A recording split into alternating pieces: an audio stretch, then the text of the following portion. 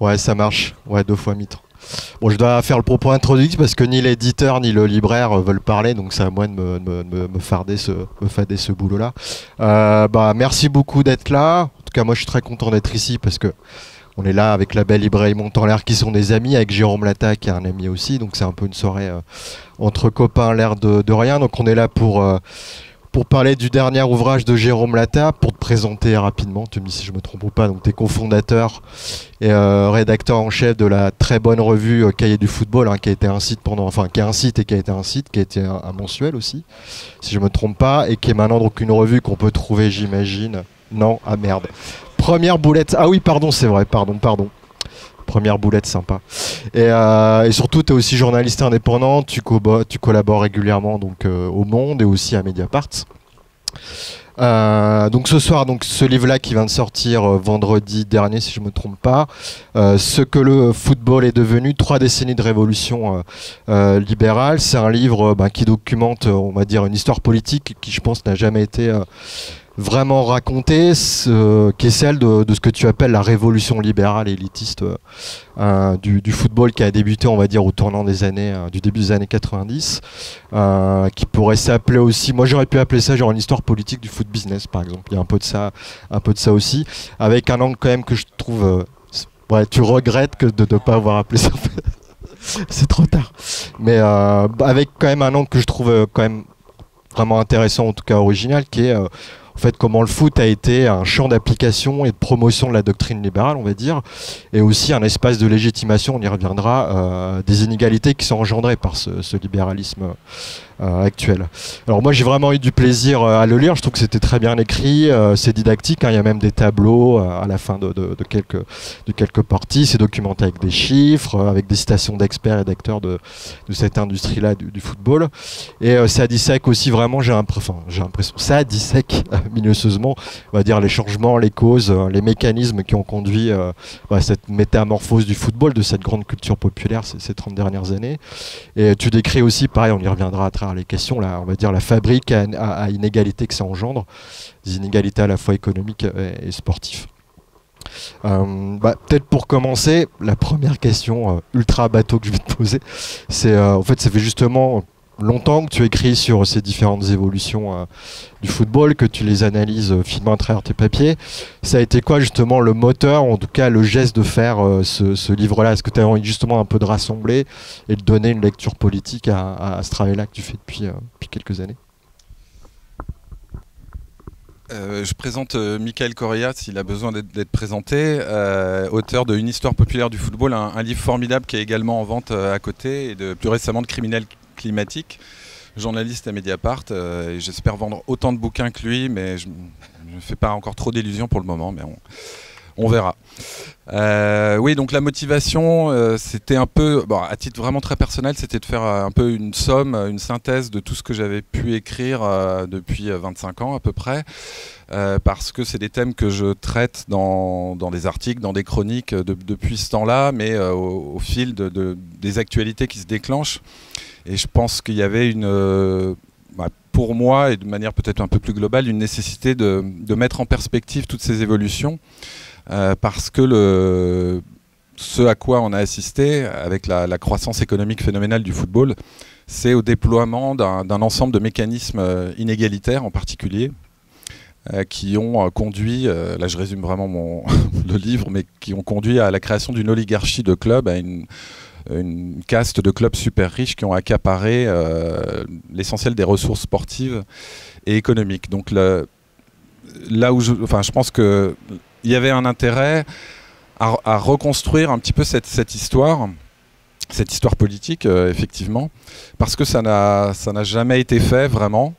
Euh, je sais qu'il y a un livre qui ressemble à celui-là qui, a été publié en, en Allemagne cette année. Mon, allemand n'est pas assez bon pour, me permettre de, de, de le lire. Euh, il me semble qu'il y a un journaliste de The Independent en Angleterre qui prépare aussi un, livre sur ce sujet-là. Donc c'est un sujet qui paradoxalement euh, émerge assez tardivement. Euh, alors que euh, bah, c'est, oui, ce sont des évolutions convergentes, cohérentes, au, vu et au su de, tous. Hein. Il n'y a pas grand-chose, il n'y a pas de révélation dans mon livre. J'expose des, des faits qui sont relativement connus, mais qui n'ont pas été vraiment reliés entre eux et qui n'ont pas été réellement mis en perspective. Donc c'est cet effort-là que, que, je voulais faire. bon, il n'y a pas de j'ai pas eu l'impression d'accomplir un, un, exploit puisque c'était euh, c'était mettre un peu bout à bout tous ces, tous ces constats et, et d'exposer euh, les, conséquences de ces évolutions, conséquences qui font euh, consensus chez tous ceux qui ont travaillé dessus, en particulier les économistes du sport et autres, et autres chercheurs. Même s'il y a un, propos politique de ma part hein, pour prôner autre chose, pour, pour prôner un autre football, euh, a pas, euh, je ne tiens pas euh, de, point de vue révolutionnaire en soi. je souligne des évolutions qui, ouais, qui, font consensus et qui ont, qui, ont, qui ont convergé, qui sont reconnues, mais qui sont bizarrement pas pas traitées comme telles, qui sont, moi j'ai appelé ça révolution libérale, on, on, aurait pu dire révolution élitiste ou trouver d'autres d'autres termes, euh, mais ces, évolutions, elles sont, incontestables, mais elles n'ont jamais, été, euh, jamais été nommées, et en particulier dans la, presse sportive, qui euh, théoriquement aurait dû être celle dans laquelle tous, ces, problèmes auraient dû être soulevés, traités, analysés. Mais voilà, non, ça n'a jamais fait, ça n'a jamais fait la une de l'équipe ni l'objet de, de, de débats dans les pages idées de, de l'équipe. Il n'y a pas de page idée dans l'équipe justement pour entrer un peu dans le livre, il y, a un des premiers mécanismes que tu, abordes dans le bouquin, euh, et qui a été vraiment le carburant, euh, qui a boosté ce tournant libéral du, football, c'est les droits, de, les droits de diffusion, en fait, les droits de diffusion TV. Euh, tu dis que ça a été, alors c'est pas un booster de croissance, tu dis que même ça a été un démultiplicateur de, de croissance pour l'industrie du foot. J'ai noté deux chiffres, j'aime bien les chiffres, je suis factuel, c'est euh, les droits nationaux de, diffusion de la Ligue 1. C'était un million d'euros euh, la saison dans les années 80, la mi-temps des années 80. Euh, aujourd'hui, on est à, enfin en, 2016, c'était 726 millions d'euros. pareil, les revenus des clubs en Europe, hein, de mémoire, été multiplié par 8 depuis 1995. Si tu peux nous en dire plus justement sur ce premier gros enfin ce premier gros levier qui a permis ce tournant libéral là. Oui, alors même s'il y en a certains qui, critiquent l'emploi des graphiques dans les livres, euh, il, y en a, que je trouve assez parlant. Même si vous êtes assez loin, je pense que vous voyez la pente, euh, ou plutôt la, pente ascendante. Là, c'est les revenus des clubs européens. Il y, en a plusieurs autres qui, dessinent la, même chose. Donc c'est vrai que ce qui a déclenché la, croissance économique phénoménale du football, euh, et qu'il a fait sortir d'un modèle économique qui était celui de petites PME euh, locales euh, qui, qui brassaient pas énormément d'argent, c'est évidemment la croissance des droits de diffusion qui est concomitante avec l'apparition des télévisions payantes à la fin des, à la fin des années 70, mais qui, a, qui ont des télévisions qui ont, qui ont développé leur activité dans les, années 80, notamment en Angleterre avec, avec le groupe Sky de, de Rupert Murdoch et donc qui ont euh, euh, fait affluer des, sommes absolument considérables d'emblée et euh, sommes considérables qui ont, qui ont subi un facteur multiplicateur lui aussi considérable, puisque aujourd'hui, au lendemain de la, crise du Covid, eh on observe dans la plupart des pays un plateau euh, des droits de télévision, mais il n'y a, pas vraiment de baisse. Et cette baisse, elle a été euh, très très spectaculaire. Donc elle a conduit à un enrichissement euh, assez immédiat de, cette industrie du football. Elle lui a fait complètement changer de dimension. Elle lui a fait aussi changer de, mode de gouvernance pour les clubs de football. Et alors que, bon, je ne vais pas refaire l'historique, mais historiquement, les, clubs de foot étaient très réticents à la diffusion des matchs, parce qu'ils étaient persuadés que ça allait vider les stades. Euh, donc il, refusait, ce, enfin il, limitait au maximum la, diffusion des matchs. moi qui ai, été enfant dans les années 70, euh, c'était une économie de la rareté. Euh, le football, on, avait quelques matchs de Coupe d'Europe, ce qui magnifiait les, épopées comme celle de Saint-Étienne. Euh, il y avait la finale de la Coupe de France, euh, il y avait la Coupe du Monde euh, qui, était, diffusée. Donc c'était une économie de la rareté on et on a basculé de cette économie-là aujourd'hui à une économie de la profusion. C'est-à-dire aujourd'hui il y a plus de, jours, de de la semaine sans match diffusé.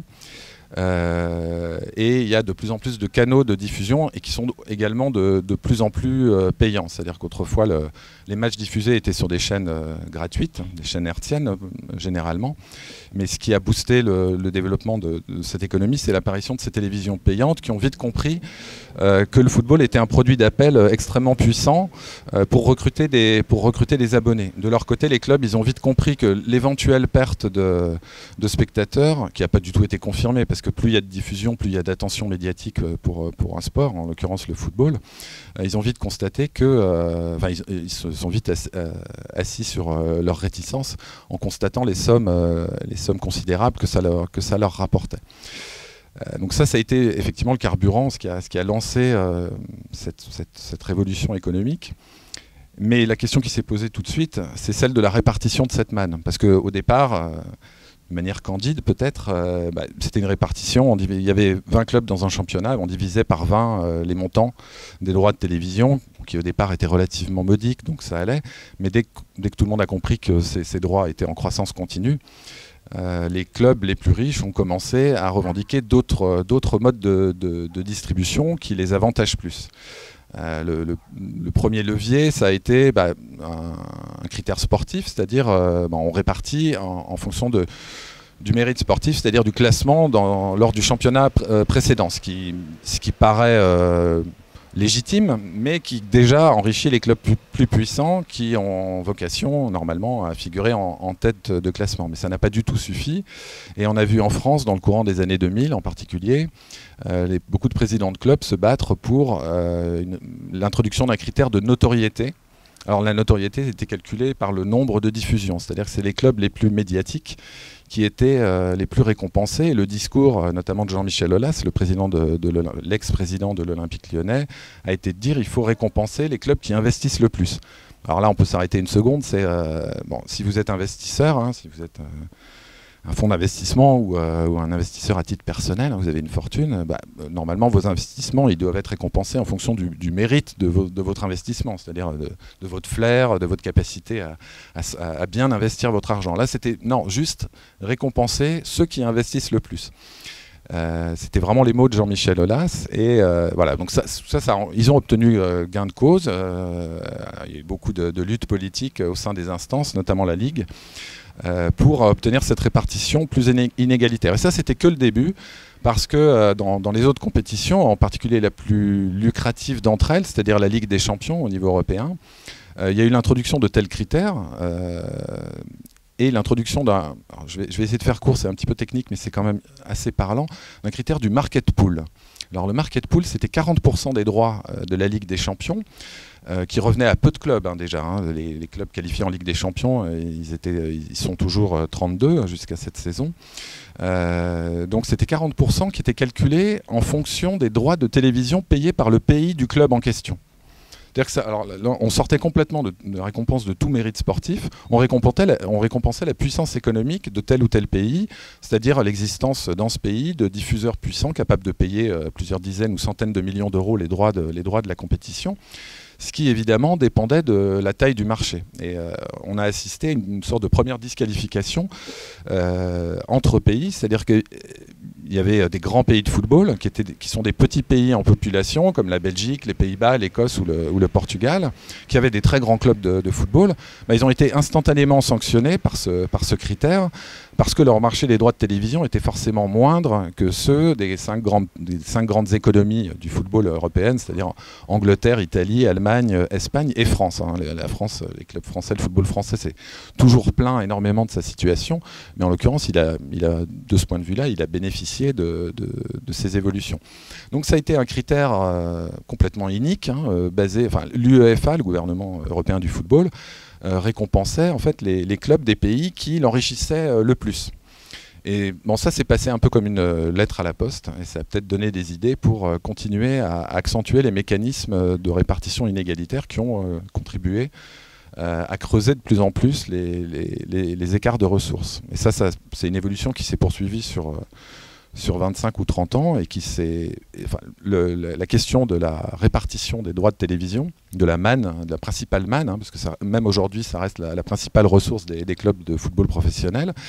Euh, la, question, cette question de la répartition des droits de télévision a été le, premier et un des plus puissants euh, leviers de, creusement des inégalités. Et, là, j'insiste là-dessus, vraiment pas sur des, sur des critères sportifs. Alors pour conclure, euh, aujourd'hui, l'UEFA a réduit la part du, market pool. Hein, elle, est, plus de 40%, elle est, beaucoup moindre, elle est bien moindre, mais alors, elle a réintroduit un critère de, là aussi apparemment au mérite sportif, qui est un critère de régularité, c'est-à-dire calculé sur les performances des cinq dernières années. Euh, tout récemment, il a été passé sur, 10, sur les dix dernières années, les dix dernières euh, saisons. Alors on se dit, là aussi, bah, c'est un critère sportif, ça va, c'est légitime. Mais le problème, c'est que euh, un gros club très riche qui a tous les moyens pour obtenir des résultats en Ligue des Champions, s'il sous-performe, hein, c'est-à-dire et, on a beaucoup d'exemples hein, de clubs très riches qui utilisent très très mal leur argent. S'ils sous-performent, euh, il ne va pas être sanctionné parce qu'il euh, va continuer à toucher des droits euh, calculés au prorata de, en, fonction des, performances sur ces dix dernières saisons. Alors qu'un club méritant, qui a beaucoup moins de moyens, qui a une très bonne politique sportive, un bon entraîneur qui recrute intelligemment des jeunes joueurs, qui fait progresser ses joueurs, si, si surperforme, ça va être le cas par exemple de l'Atalanta Bergame euh, récemment ou de l'Ajax Amsterdam, Ajax Amsterdam qui, était un très grand club européen, comme je disais tout à l'heure, qui, a été relégué dans une sorte de deuxième division économique. Donc des clubs comme ça qui vont avoir des très bonnes performances sur plusieurs années.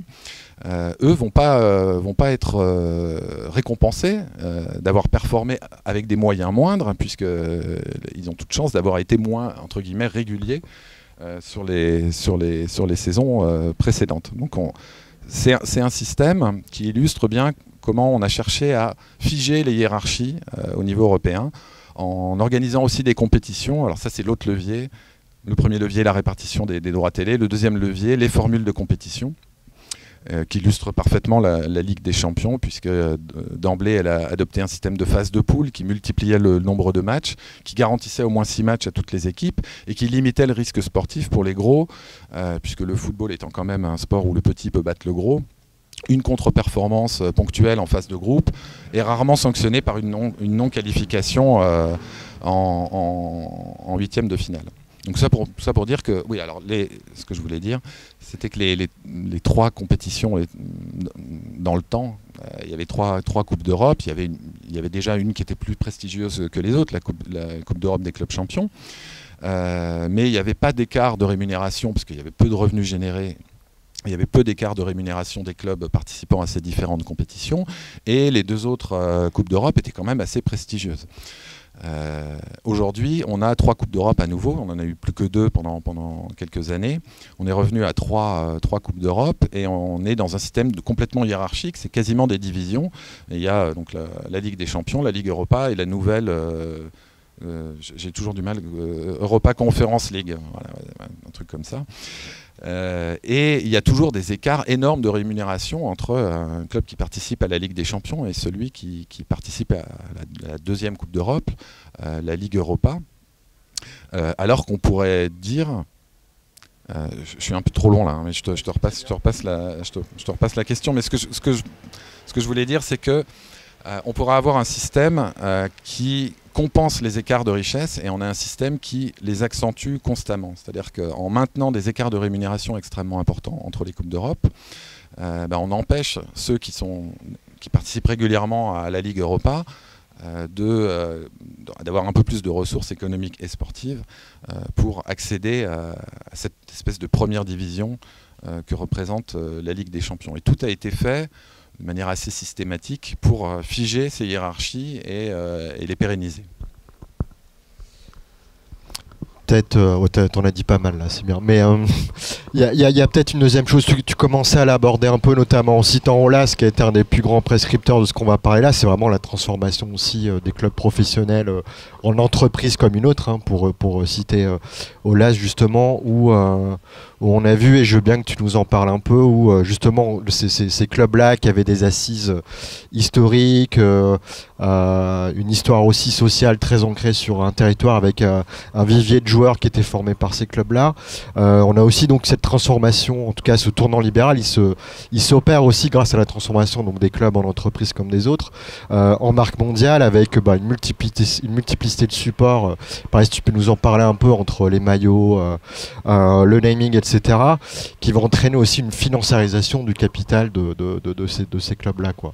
Avec, euh, et peut-être je termine là-dessus, est-ce que ce serait bien d'en parler un peu, avec aujourd'hui, j'ai envie de dire un peu le point d'orgue de la financiarisation du, capital des, clubs, c'est la fameuse multipropriété, qui est un grand sujet dont on parle de plus en plus euh, aujourd'hui. Donc voilà, si tu peux nous en dire un peu plus là-dessus.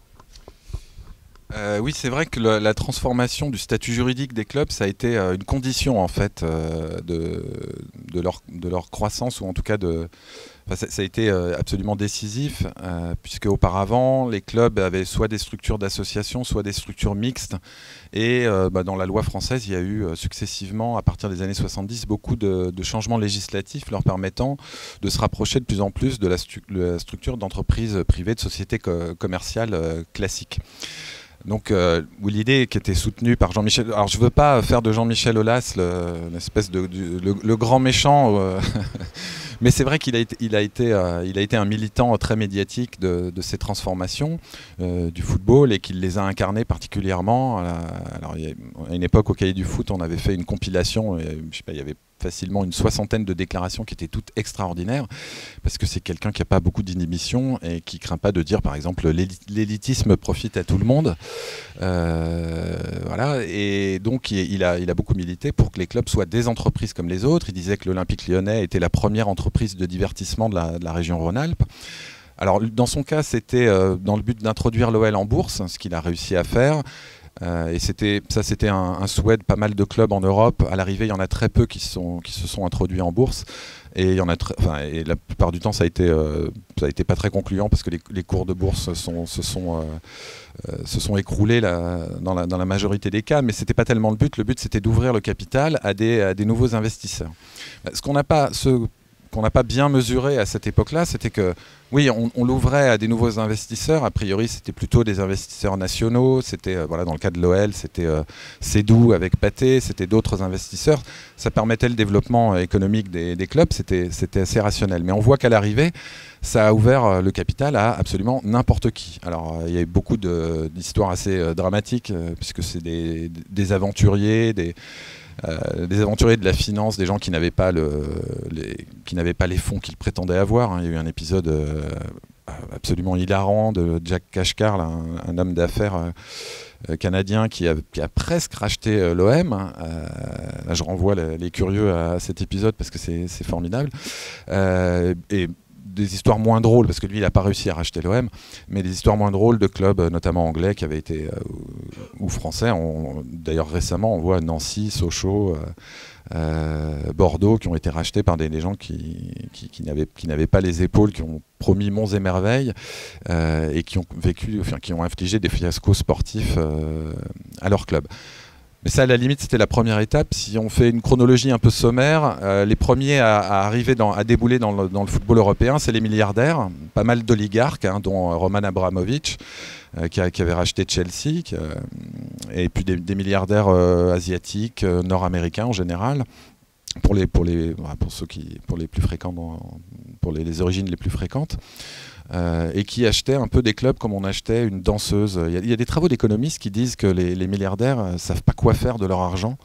Euh, on sous-estime les, affres auxquelles, ils sont soumis, et donc, mais qu'ils qu'ils essayent d'acheter. Bah, certains s'achètent une fondation, un musée, des choses comme ça, comme des manières un peu de s'acheter une humanité. Euh, et euh, voilà, beaucoup ont acheté des clubs comme des danseuses et ça a déjà rompu un peu les équilibres puisque Chelsea, ça a été un peu le, premier euh, club nouveau riche hein, qu'on a, qualifié comme tel parce que Roman Abramovich a mis des sommes considérables pour, faire, pour raccourcir le temps de formation d'une équipe compétitive. Ça, c'est une, expression d'économiste du sport, comme l'avait fait Berlusconi ou Tapi bien avant, 20 ans avant.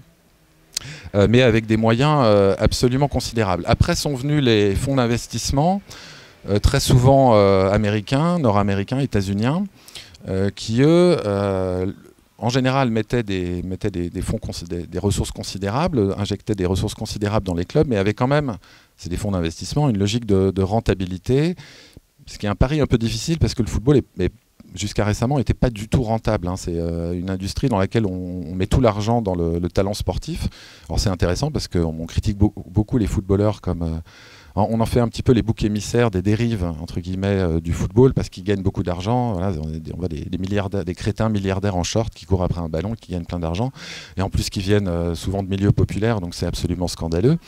Euh, alors qu'en fait, c'est rare, ils font partie des rares travailleurs d'exécution qui, captent l'essentiel de la richesse qu'ils contribuent à, produire. Bon, passons là-dessus. et donc la, rentabilité étant un petit peu aléatoire pour ces soit ils misent sur une, plus-value à la revente, en comptant sur la, poursuite de la croissance du football, pour revendre à d'autres investisseurs après, soit ils se payent sur la bête. Et là, ça nuit aux performances sportives euh, du club en question. On l'a vu à Arsenal et à Manchester United. Parce que la famille Glazer, euh, famille états-unienne qui a racheté Manchester United, a, utilisé le, leverage buyout, donc LBO, une, technique de financement qui consiste à s'endetter et à faire rembourser pour acheter le club en faisant en, faisant en sorte que le club rembourse lui-même la dette. Hein. Il y a beaucoup de, beaucoup de créativité quand même dans la, dans la finance. Euh, ce qui a nuit, euh, ce qui a nuit aux performances sportives de Manchester United, mais pas, pas à la richesse de Manchester United, qui reste toujours classé comme le, le club le plus riche euh, du monde, ex aequo avec le Real Madrid. Hein, ça, dépend des classements. Et enfin, la troisième catégorie, ça a été les fonds souverains. Et là, bah, comme on avait été un petit peu mitridatisé, on se disait, bon, ça va pas changer grand-chose, les fonds souverains il y a quand même des règles financières qui imposent de ne pas dépenser complètement à perte. Et là, on a, je, parle un peu pour moi, hein. euh, on n'a pas bien mesuré les conséquences parce que les, fonds, euh, les fonds injectés ont été encore plus importants euh, que ceux des milliardaires ou des, fonds souverains. pour ce qui est des sanctions financières, enfin du non-respect des, règles financières, on a appris au travers des Football Leaks que euh, ces clubs étaient allés les renégocier en catimini avec l'UEFA ou les avaient portés en justice pour les, pour les faire annuler. Donc ils, ont pu allègrement les, contourner. Aujourd'hui, Manchester City, donc, qui est propriété d'un fonds souverain euh, émirati, euh, est poursuivi par la Première Ligue, ce qui est à signaler parce que la Première Ligue s'attaque à une de ses places fortes. C'est relativement courageux pour plus de 100, je crois 115 infractions aux règles financières sur, sur une dizaine d'années. Euh, voilà. Et l'autre euh, aspect très problématique, c'est qu'évidemment, euh, on est encore plus dans l'instrumentalisation du football à des fins qui lui sont complètement étrangères, c'est-à-dire à des stratégies de soft power sportif, de géopolitique par le sport, de sport washing, on peut, le dire clairement. voilà, donc ça, ça a apporté la financiarisation à un niveau encore supérieur. Et le dernier stade, enfin le, dernier en date, hein, parce qu'on peut, on peut craindre la suite, c'est effectivement la multipropriété des clubs qui se développe très très très très vite, qui, a été testé euh, euh, ponctuellement il y a une vingtaine d'années par euh, ici ou là, mais qui devient vraiment un système, puisque le, football restant difficilement, restant peu rentable, bah, une manière de créer de la rentabilité, c'est de posséder plusieurs clubs d'avoir des consortiums un consortium de clubs dans plusieurs pays euh, et de les utiliser de manière très hiérarchique, c'est-à-dire qu'il y a euh, un ensemble de clubs, et, mais tout, tout en haut, au sommet du système, il y a un, navire amiral. Deux fois sur trois, c'est un, club de première ligue, hein, c'est là où il y a le plus d'argent. Euh, et comme pour parler comme le, propriétaire américain, le nouveau, le récent propriétaire américain du FC Lorient, euh, il avait dit dans une interview, euh, le club uruguayen nourrira le club belge, qui nourrira le club français, qui nourrira le club anglais. Donc on est, euh, c'était le, mot c'était feed. on est vraiment dans une logique de, filialisation et de vassalisation des clubs. Et là très récemment, il y a le, Racing Club de Strasbourg qui a été racheté, alors que le Racing Club de Strasbourg c'est une très très belle histoire puisque, c'est un club qui, avait été en faillite il y a une quinzaine d'années, qui avait été repris par, par des, entrepreneurs locaux, qui avait été soutenu, qui avait bénéficié d'un soutien absolument incroyable des supporters qui suivaient le club, qui avait été rétrogradé, je ne sais plus, en quatrième ou cinquième division, je crois. Euh, donc c'était une très belle histoire qui est revenue dans, qui est revenue dans l'élite, euh, qui a toujours un, public euh, très très fervent et qui maintenant bah, se retrouve propriété du groupe propriétaire de, Chelsea, qui n'est plus Roman Abramovich, puisqu'il était obligé de, de vendre après que dans le, sillage de la guerre en Ukraine, la Première Ligue et le Royaume-Uni tout entier aient découvert que les oligarques n'étaient pas des gens hyper fréquentables.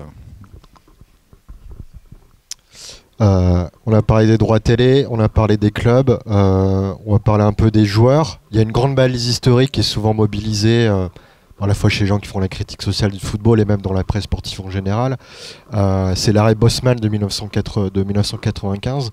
Donc c'est une décision européenne qui va vraiment entraîner une dérégulation du, marché du joueur et qui va aussi en fait tout simplement transformer le, joueur en, une marchandise comme une autre.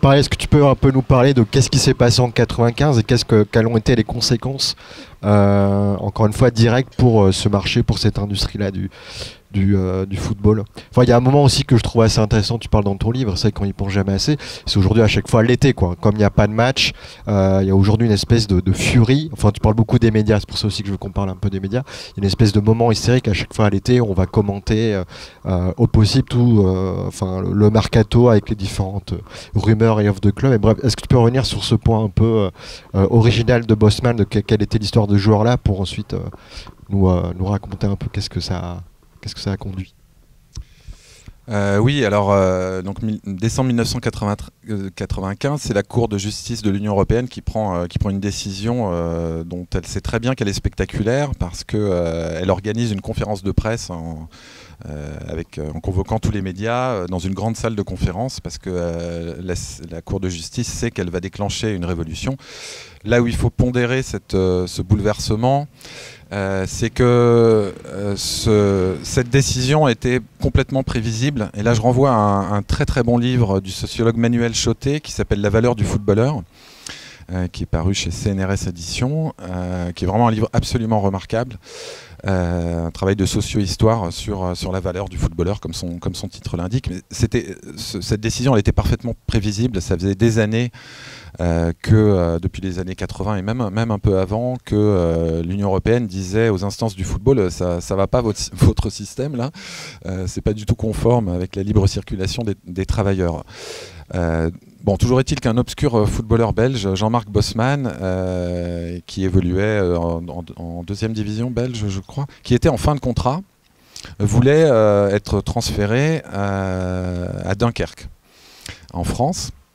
Alors vous vous dites, bah, il était en fin de contrat, il euh, n'y a, pas de problème. Bah non, parce qu'à l'époque, le, système des contrats de footballeurs, des transferts, interdisait à un joueur, euh, même en fin de contrat, d'être transféré dans un autre, euh, club sans l'accord de, ce club-là.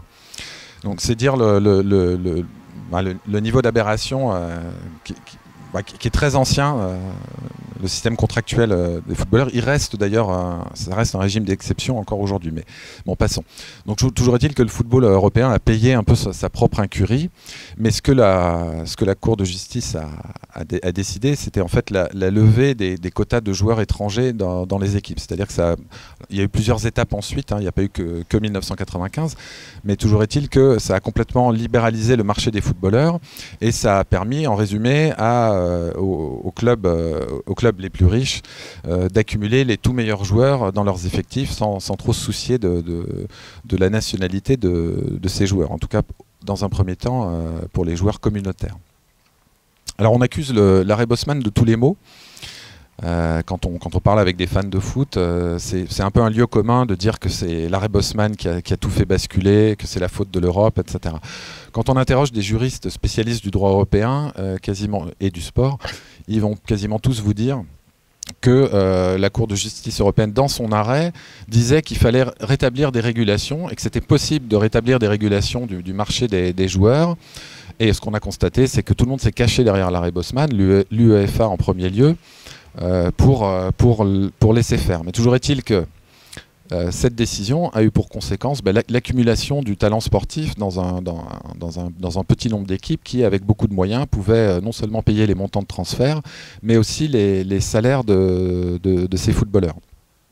Alors ça a évidemment euh, accentuer la, corrélation entre puissance sportive et, euh, euh, entre puissance économique et, résultats sportifs mais ça a aussi contribué à transformer les, joueurs en, valeurs financières, en actifs de plus en plus spéculatifs. Alors ça ça, se constate effectivement chaque, à chaque mercato estival ou, hivernal.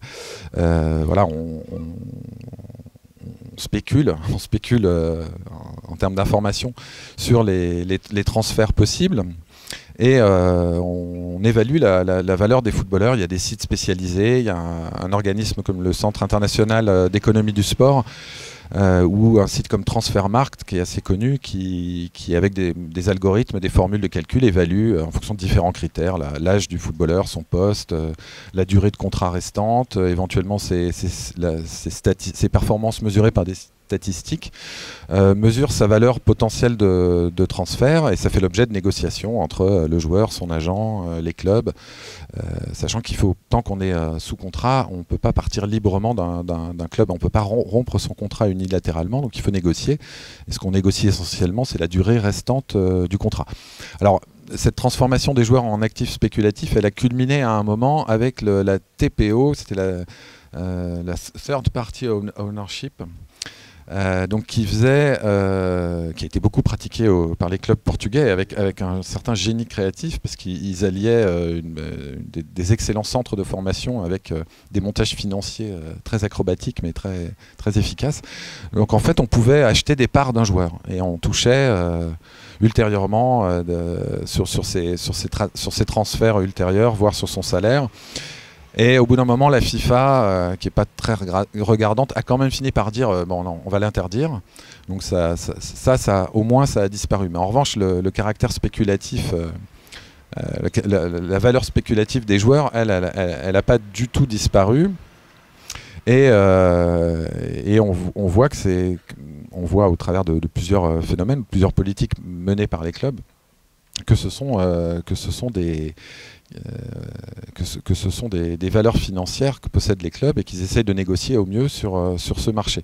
Alors ça a conduit à, euh, ça a conduit à, plusieurs phénomènes. Alors, on parle notamment de, trading de joueurs. Hein. c'est devenu une activité des clubs, c'est-à-dire bah, justement cette activité d'échange. On va former des clubs, euh, des joueurs, pardon, euh, dans son centre de formation, où on va en recruter, des, on va recruter des espoirs, des gens, des, joueurs qu'on a repérés par différentes manières, pour les valoriser et pour faire réaliser des plus-values sur leur, sur leur sur leur transfert. Donc c'est une manière, cette expression de trading de joueurs, c'est une manière assez, euh, assez cynique de, bah, d'exprimer cette, transformation des joueurs en, en, actifs financiers. Euh, voilà, les, joueurs sont, euh, sont sont pas complices, mais enfin, ils, sont devenus des marchandises. Voilà, c'est, c'est, c'est en tout cas le, un, des phénomènes, majeurs, c'est cette transformation assez cynique euh, des footballeurs en marchandises, sachant qu'il faut bien préciser que c'est un marché, euh, le marché des joueurs est extrêmement segmenté, c'est-à-dire que les plus, gros montants de transfert et les plus gros salaires concernent une toute petite minorité, euh, enfin les, tout meilleurs d'entre eux, on va dire, c'est-à-dire que les, montants de transferts considérables qui font un petit peu scandale, ça concerne très très peu de joueurs, même si euh, bon, un joueur professionnel, même en deuxième division, il va être très, il va être payé comme un cadre, comme un cadre supérieur, sachant que ça, sachant que sa carrière s'arrête euh, relativement tôt, ce qui lui laisse le temps d'épargner quand même s'il est bien conseillé. Euh, mais tout ça pour dire que c'est pas qu'on a tendance à faire des footballeurs, des, boucs émissaires des dérives du football, euh, alors qu'ils ne font que profiter, entre guillemets, d'un système qui les, qui les transforme, euh, qui les transforme en, marchandises. Et voilà, ce que je voulais dire aussi, euh, c'était que ça contraint les, clubs à une forme de, spécialisation. moi, dans, le livre, je fais des catégories assez, assez schématiques, mais vous avez les, des clubs petits, moyens, qui vont former des clubs dans leur centre, dans leur centre de formation, dans leurs académies. vous avez des clubs moyens, grands, qui vont valoriser, qui vont valoriser les joueurs. Et vous avez les clubs gros acheteurs, grands acheteurs, euh, qui vont récupérer les tout meilleurs en les payant très cher, mais ça a assez peu d'impact sur leur... Enfin, si, ça a quand même un impact, parce qu'ils présentent... C'est les clubs qui présentent des balances des transferts euh, avec des déficits très très spectaculaires, mais euh, au moins les, joueurs qu'ils achètent, ils ont, ils ont une valeur marchande, et s'ils les retransfèrent derrière, ils vont ils vont, ils vont, ils vont s'y retrouver. Donc on, on, peut illustrer ça avec des parcours assez typiques. par exemple, Ousmane Dembélé, qui a été, euh, enfin, qui a, été euh, post-formé euh, au Stade Rennais qui s'est qui s'est révélé au Stade Rennais, qui a été bien vendu, je crois, à 35 millions, que, peu, importe les chiffres absolument exacts, au Borussia Dortmund, qui un an après a revendu Ousmane Dembélé 120 millions d'euros au FC Barcelone. Donc on a un petit peu les, les, trois catégories de clubs. Mais le, travers, l'effet pervers de cette, de cette spécialisation, c'est qu'elle je parlais d'hierarchisation tout à l'heure, c'est qu'elle fige les clubs, chacun dans leur rôle, et qu'un club formateur ou valorisateur, même si c'est le Borussia Dortmund que, j'évoquais à l'instant, qui est un grand club, qui a un immense stade, euh, va, immanquablement plafonner. Et, euh, pour les clubs formateurs, alors en France, euh, on est évidemment un football très formateur. On est le, deuxième pays producteur de footballeurs professionnels après le Brésil, le premier en Europe.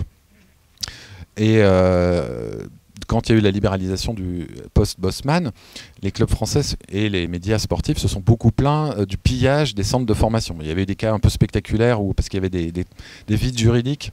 Euh, des clubs comme Arsenal avaient, piqué des joueurs pour 0 euros, enfin 0 francs à l'époque, à, des, clubs formateurs. Depuis, les, règlements sont venus un petit peu mettre de, mettre, mettre de l'ordre dans tout ça, mais en réalité, dans le modèle économique des clubs français, euh, il y a le fait qu'on intègre les revenus liés à, la vente des clubs. mais le problème, donc, c'est que ça fige, ça assigne chacun à, son rôle. Et ce à quoi on a assisté aussi, c'est qu'un un club formateur, il pouvait, un très bon joueur, un joueur dont on voyait qu'il avait la, capacité de, faire une belle carrière, ce club formateur, il pouvait garder ce joueur euh, deux, trois saisons et donc en profiter euh, sportivement sur le terrain.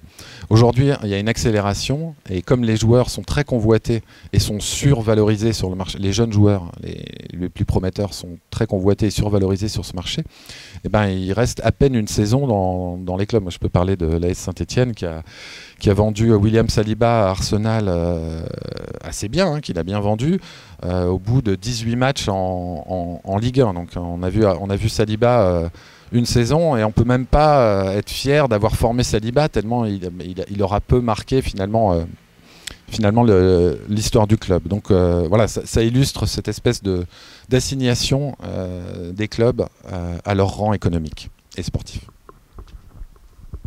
il y a hum, bah, toutes ces transformations là que tu donc tu nous as déployées pardon elles ont conduit donc tu, tu, l'abordais déjà au tout début de la, présentation donc euh, à ce que tu appelles cette fabrique à marcher des, des, à fabriquer pardon euh, cette machine à fabriquer pardon, des, des inégalités.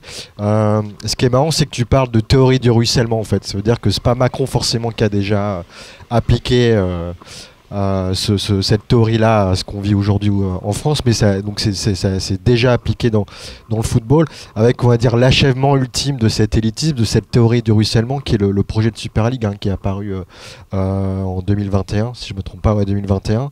bah, je veux bien que tu me parles un peu justement de voilà cette théorie du ruissellement, comment ça se traduit vraiment dans le football, même si tu l'as as, déjà commencé à le, à le, brosser ici.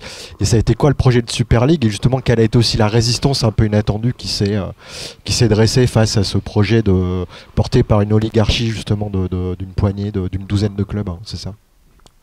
Euh, oui, ils, étaient ils étaient 12 clubs à avoir euh, tenté une sécession euh, en, avril 2021 dans, une ambiance de putsch, hein, parce que moi j'étais devant mon écran un dimanche soir et il y a des rumeurs qui commencent à circuler via un journaliste du New York Times qui est très brillant. et à minuit tombe un communiqué relayé par les 12 clubs concernés, un, communiqué, complètement laconique qui annonce la création d'une Super League. Euh, sans, autre, euh, sans autre forme de commentaire. Bon. Euh, bah, ce qui, mon, ressenti sur le moment, je me suis dit, bah voilà, ça y est, parce que c'est vrai qu'on a pu en fait, la, menace de la Super League, elle est agitée euh, depuis le début des années 90. Il y avait une première tentative en, 1998 de création d'une ligue privée. Et cette ligue privée, elle est agitée comme une menace depuis plus d'une vingtaine d'années. Et une menace très très efficace parce que finalement, ces clubs-là, les clubs les plus riches, obtenaient par cette menace de l'UEFA qu'elle réforme ses compétitions et en particulier la Ligue des Champions à leur avantage. Donc on a pu longtemps penser que cette menace, elle resterait virtuelle, puisqu'elle était très très efficace, et que la Ligue des Champions euh, évoluait, euh, réforme après réforme, vers euh, une, ligue fermée qui n'en était pas vraiment une, c'est-à-dire une compétition qui avait tous les avantages de la ligue fermée, c'est-à-dire permettant l'accaparement des, revenus, sans les inconvénients, parce que les ligues fermées américaines, hein, qui constituent un peu le modèle, elles sont paradoxalement, euh, elles, ont des, elles ont des régulations très collectivistes. Hein. Euh, on, veille à toujours maintenir la, compétitivité des équipes avec euh, des mécanismes comme le, salary cap ou la draft qui permet aux équipes les moins classées, schématiquement, de recruter les, meilleurs espoirs. Donc on, pouvait se dire que cette menace, elle continuerait à être, à être agitée longtemps, même si c'est vrai que régulièrement, on voyait, et là encore les Football Leaks euh, ont montré qu'il y avait des, discussions secrètes. Euh, le pire étant que certaines de ces discussions étaient menées avec l'UEFA. Euh, et la surprise a été d'autant plus grande pour l'UEFA parce que ce, lundi-là, elle elle, lançait avec une conférence de presse, elle annonçait sa future formule de Ligue des Champions qui, va commencer la, saison prochaine et une formule encore plus avantageuse pour les clubs les plus riches qui avait été négociée avec eux. Donc c'est dire la fourberie de ces, clubs riches. Euh, voilà, donc euh, bon, alors ça, ça a été une demi-surprise, hein, puisque on avait l'impression, mais pas mal de commentateurs qui disaient que c'était une évolution fatale, sachant que le fatalisme est le meilleur, euh, meilleur complice de ce genre de, fuite en avant, incitant à, ne, pas, ne pas leur résister. Et la deuxième surprise, c'était bah, qu'il y a eu un front du, refus extrêmement large qui s'est levé dans toute l'Europe et qui a euh, mobilisé tous les acteurs, euh, la plupart des clubs, euh, les supporters évidemment, en particulier en Angleterre, les médias sportifs qui avaient été relativement extrêmement passifs jusqu'à présent vis-à-vis de ces évolutions, et les pouvoirs politiques avec un petit temps de retard. Ben, on se souvient par exemple Boris Johnson avait attendu, il avait fait deux communiqués il avait fait un premier euh, communiqué euh, bon, entérinant, euh, entérinant ce, bouleversement, et puis voyant que ça tournait mal, il a fait un autre communiqué disant que non, c'était pas bien, pour, dire un petit peu un petit peu comme tout le monde. Alors ça a été rassurant parce que moi j'avoue que j'étais très pessimiste sur le moment et quand j'ai vu comment ça tournait, il y avait des, motifs de, se réjouir et des motifs d'espoir parce que tout à coup bah, les mots qu'on était seulement quelques-uns à employer, hein, oligarchie, caste, dérive élitiste, tout à coup on les retrouvait euh, dans les éditos de l'équipe, dans les communiqués de la Fédération française de foot, euh, enfin dans, la, bouche de, tout le monde, comme si... Euh, bah, c'est une, image que j'emploie, je m'autocite, excusez-moi, mais comme si le football était passé pour la première fois devant un miroir depuis 25 ans et qui, découvrait à quel point il était, il devenu horrible. donc ça a été positif, mais ça a eu un peu l'effet d'un feu de paille, c'est-à-dire qu'il n'y a, pas eu derrière, il n'y a pas eu de consolidation ou de création du débat politique que, j'appelle de mes voeux euh, depuis longtemps et dans la conclusion de, dans la conclusion de ce livre. C'est-à-dire, je pense qu'une urgence, c'est de mettre en débat, de, de faire du, football, de ses évolutions, un, objet, euh, un objet politique. Mais euh, notamment au niveau européen où devrait être défendue une spécificité des, activités sportives sur le modèle de l'exception culturelle euh, qu'on connaît bien. Mais ça a été un feu de paille et pour souligner un peu la dissonance cognitive de, tous ces acteurs-là, en particulier les médias sportifs, c'est que trois mois après, Messi était transféré au PSG et tout le monde s'extasiait et célébrait ça comme, euh, voilà, comme, comme, un événement grandiose, euh, réjouissant. Euh, la, Ligue des Champions reprenait quelques semaines après et tout recommençait comme, comme, comme auparavant. Donc il y a à la fois un motif d'espoir, il y a eu une prise de conscience de ce que le football était devenu. Euh, mais euh, immédiatement derrière, il y a eu le constat que ça ne suffisait pas à, consolider un débat et, que le, front d'opposition très médiatique qui s'était élevé euh, en avril 2021 se consolidait pas vraiment. Aujourd'hui, le principal pôle de résistance aux évolutions du football, il est représenté par les supporters, en particulier par les groupes ultra, qui, bah, c'est pas de chance, sont, ont tendance à se discréditer eux-mêmes et surtout sont victimes de voilà et de, stigmatisation et on leur, refuse un peu le droit d'être d'être détenteur bah, de ce que disait euh, et de ce que, tu caractérises euh, très bien dans, ton livre, euh, comme étant un patrimoine collectif.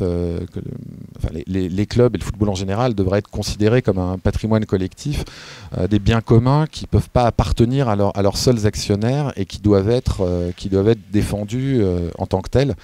Bah, sachant qu'on n'est pas obligé d'aller très loin pour trouver des contre-modèles le football allemand offre un contre-modèle très très intéressant. C'est un football très riche. Euh, qui a beaucoup des travers du football contemporain, mais qui interdit, euh, avec la règle du 50 plus 1 par exemple, euh, à un investisseur privé de prendre la majorité d'un club, tout ça pour maintenir l'ancrage et le rôle social l'ancrage territorial, le rôle social, tous les liens sociaux euh, qu'entretiennent qu'entretiennent les, clubs de football, et pour raccorder avec euh, ce qu'on disait avant, clubs de football qui ne peuvent pas être euh, des entreprises comme les autres. Peut-être justement pour conclure, parce que le temps passe, passe vite, hein, mais bah, justement, en fait, la question quand on voit tout ça, tout ce que tu déroules, c'est bon, la question, la question de, révolutionnaire, de révolutionnaire russe par excellence. C'est bah, justement que faire? Là, tu commençais déjà un peu à parler du, du modèle euh, allemand euh, justement. Est-ce qu'on a besoin de plus de régulation de la part des pouvoirs euh, sportifs et publics hein, Parce que tu le pointes aussi dans le bouquin, on n'en a pas parlé, mais il y a une vraie démission, en tout cas, tu, le soulignes de, leur part face à cette fuite en avant du, ballon rond.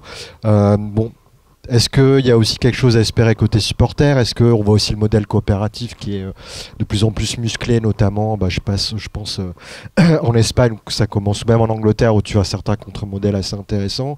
Est-ce que côté foot féminin aussi, c'est pas une nouvelle euh, fenêtre d'ouverture, un peu d'air frais qui est en train d'arriver dans cette industrie du, football?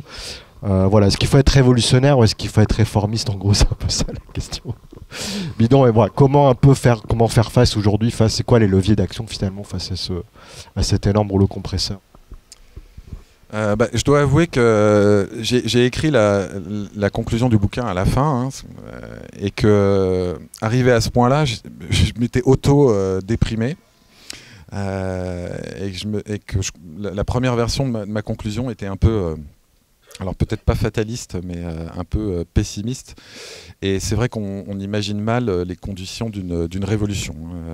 on, peut, on peut imaginer, c'est très plaisant, faire des, uchronies plutôt que des dystopies. Imaginez, un, un, autre football. Un des slogans des cahiers du foot, c'était un autre football est possible. On a eu faux sur toute la ligne. il a, été impossible. Bon, on sait au moins qu'un autre football a été possible et on peut garder l'espoir qu'un autre football reste possible euh, dans l'avenir. Bon, une, révolution étant, euh, étant peu probable. Alors, si, il y, avait, il, y a, quand même, il y a eu l'espoir à plusieurs moments qu'il y ait un crack financier hein, très spectaculaire. Moi, j'ai espéré. Euh, oui, on parle. Ouais, on parle de bulles des droits télé, mais euh, en l'occurrence Pierre Rondeau qui parle de ça, il est un peu, euh, il est un peu seul à, soutenir cette, thèse.